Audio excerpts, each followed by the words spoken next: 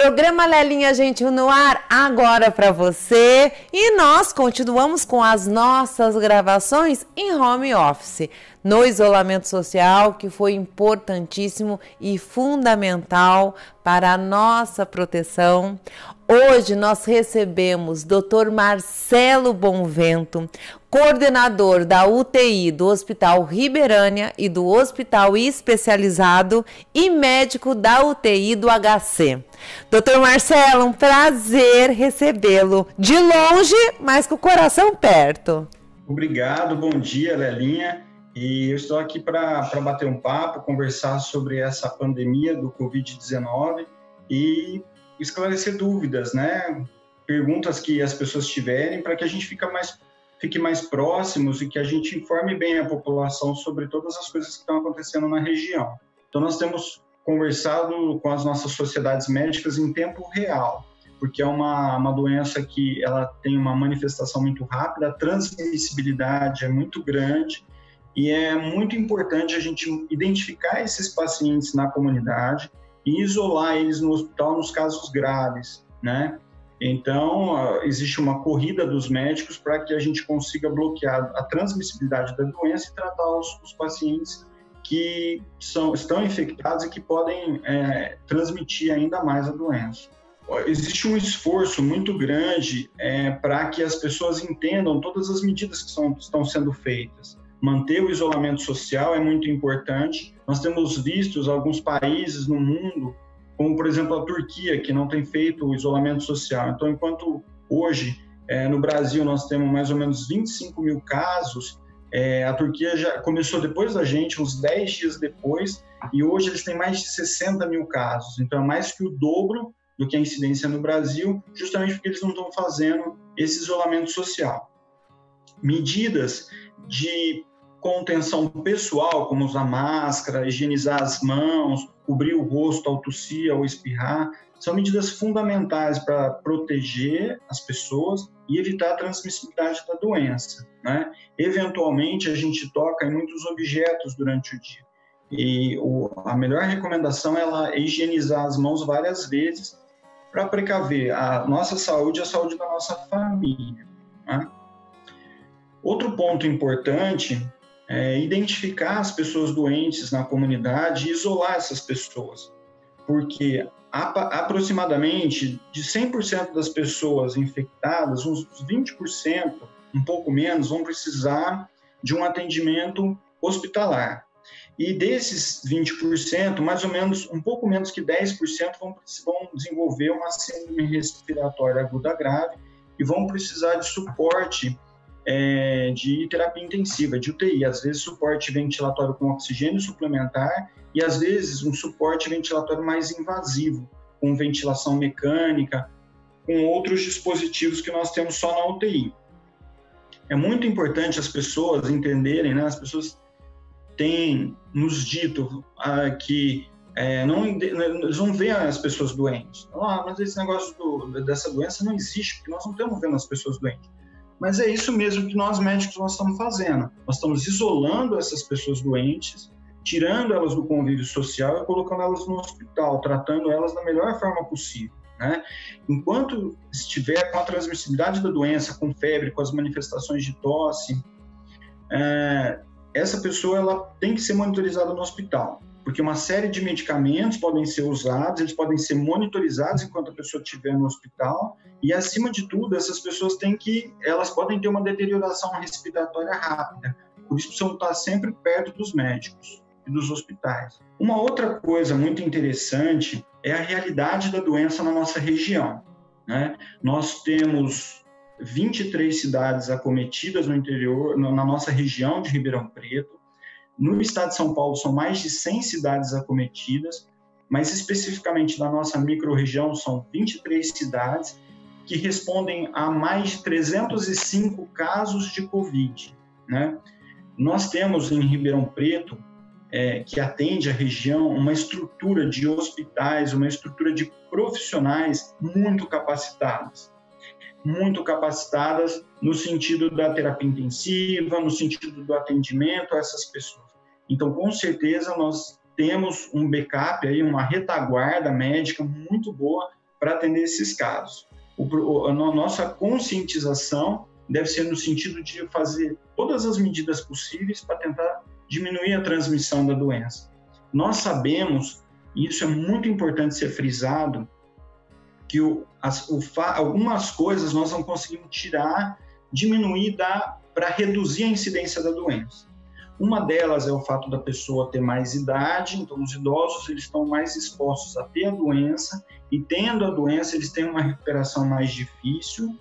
É, uma outra é, coisa importante a ser dita é o, o agravo inicial da doença. Então, quando você vem consultar com o médico, quanto mais comprometido está o pulmão, maior gravidade vai ter a doença. Então, é por aí que a gente fala, olha, fique em casa, não venha para o hospital, você precisa ficar internado. As pessoas precisam saber disso, que não são é, essas medidas nós tomamos, né, as, as precaução de contato domiciliar, ficar em casa que você vai melhorar, ou vem para o hospital, ou se medica, nós vamos te medicar com esse medicamento, com esse medicamento. Isso tudo é muito importante que a, a população saiba que precisa ser uma decisão médica. É uma doença difícil, é uma doença nova, é uma doença que vários medicamentos estão sendo testados e é uma doença que precisa do apoio da, da população no, no, sentido do entendimento do que é necessário. Nesse momento, nós médicos, nós guardamos todo o conhecimento para decidir o que é melhor e como se precaver de tudo isso.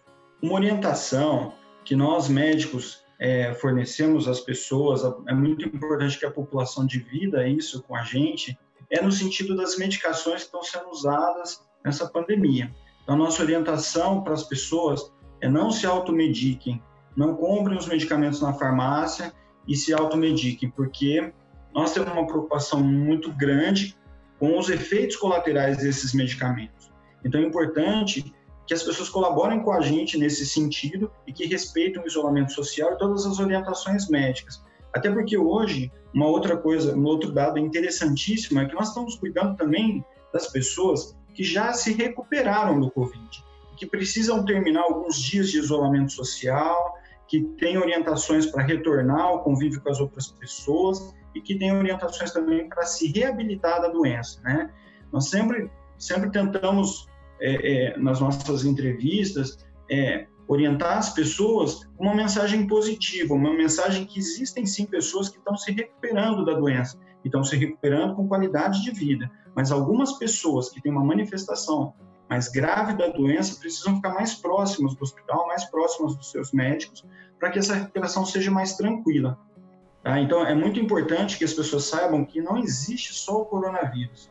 Nós, é. nós médicos, nós estamos tratando das outras doenças que continuam a vir, como um infarto do miocárdio, por exemplo, como um acidente vascular cerebral, é, algumas patologias cirúrgicas, abdômen agudo, algumas coisas que precisam da nossa intervenção de pronto. Então, é, é, muito importante dividir isso com as pessoas, né? As outras doenças não pararam, nós precisamos continuar no tratamento delas, continuar atendendo as pessoas que, que nos procuram e dar o melhor tratamento para elas. Então, é importante passar isso para as pessoas, que elas tenham segurança nesse bloqueio que nós estamos fazendo, inclusive nos hospitais. Existem hospitais que nós sabemos que estão livres do corona, né? Hospitais, por exemplo, do nosso grupo, nós estamos é, trazendo todos os atendimentos respiratórios para o meu hospital e dividindo aqui com outros colegas médicos aqui do hospital, infectologistas, médicos hospitalistas, médicos geriatras, médicos paliativos, é, outros colegas intensivistas, nós estamos é, condensando todo o tratamento de coronavírus nesse hospital para que os outros hospitais fiquem livres e a população não tenha medo de procurar o médico, né? Tudo isso é uma coisa muito importante para as pessoas saberem, conversarem entre elas e conversarem na família. Tudo isso é muito importante. Doutor Marcelo, eu quero aproveitar a oportunidade que estamos juntos para dar os parabéns para você, para toda a equipe do, do Hospital Ribeirânia. Uh, rodou aí na, em todas as redes sociais, teve muita gente que teve oportunidade, inclusive, de, de ver o paciente que saiu do Hospital Ribeirânia curado. Acredito que até tenham outros, né? Que as pessoas acabam não sabendo, mas eu quero dar os parabéns por esse trabalho maravilhoso que você, que a sua equipe está realizando. Obrigado, eu, eu agradeço.